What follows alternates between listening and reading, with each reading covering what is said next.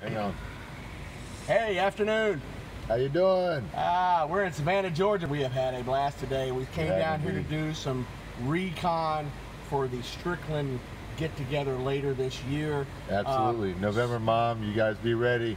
Sort of turned into a pub crawl. We can't complain about that. Savannah has been awesome. We had a What had lot of happened fun, a lot of fun, a lot of what happened was What had happened? Was. So we went to about six, seven different places, had some uh, fantastic Excellent food, food.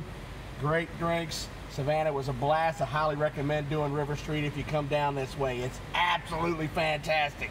Even hitting Moon River? Yes, right? we even snuck Moon River. downstairs. Snuck downstairs, took some pictures of the little haunted Yeah, it's area. a little haunted area. We didn't realize it was kind of closed until we started walking down the steps, and then we realized we ain't supposed to be here. And we so we snuck on down the steps and went in. Didn't really stop. Took a couple pictures. We didn't ask permission. Why ask permission? It's better to beg for forgiveness. So Exactly. that's how it goes.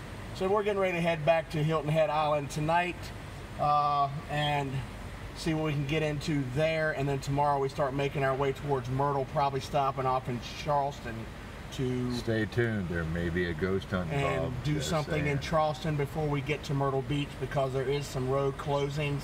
But we're going to take the Route 17 all the way up to Myrtle Beach, regardless of how we got to go, because it's open and we can probably get some good damage shots and see what actually happened down there. Not fake news like we saw on CNN and all that shit. All right, later. Peace.